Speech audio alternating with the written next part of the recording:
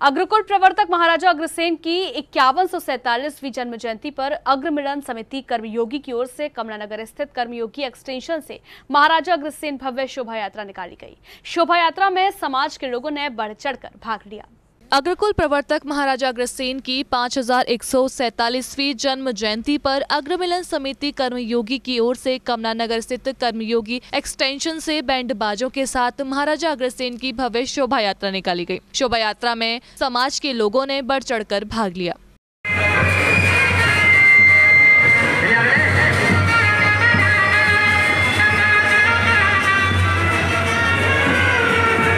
शोभा यात्रा का उद्घाटन समाज सेवी कौशल किशोर सिंघल, नितिन गोयल, संस्थापक सतीश चंद्र अग्रवाल और डीडी सिंघल ने किया। समिति के अध्यक्ष पवन बंसल ने बताया कि कर्मयोगी बनी अग्रोहा नगरी में 18 वैश्य गोत्रों के द्वार बनाए गए हैं, जिसमें सिंह द्वार मुख्य द्वार के रूप में सजाया है। शोभा यात्रा में आधा दर्जन सजी झांकियों में 18 राजकुमार और नौ देवी के स्वरूप की झांकी आकर्षण का केंद्र रही है।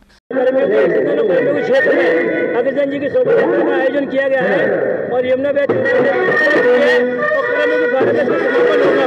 आप देख सकते हैं लोगों का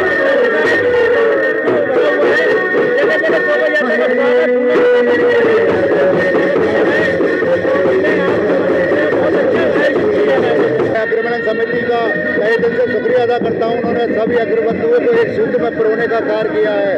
ये बहुत एक सुंदर कार्य हो रहा है। इस क्षेत्र में की तरफ़ से महाराज जी की शोभा यात्रा निकाली गई है, जिसे काफ़ी धूमधाम से अच्छे से निकाली जा रही है। शोभा यात्रा यमुना बिहार चौराहा से अमिता बिहार होते हुए, कर्मयोगी क्षेत्र में भ्रमण करते हुए, कर्मयोगी फुब्बारे पर समाप्त हुई। क्षेत्रवासियों ने जगह जगह शोभा यात्राओं की आरती और पुष्प वर्षा कर स्वागत किया। सी न्यूज़ के लिए अजय बहादुर की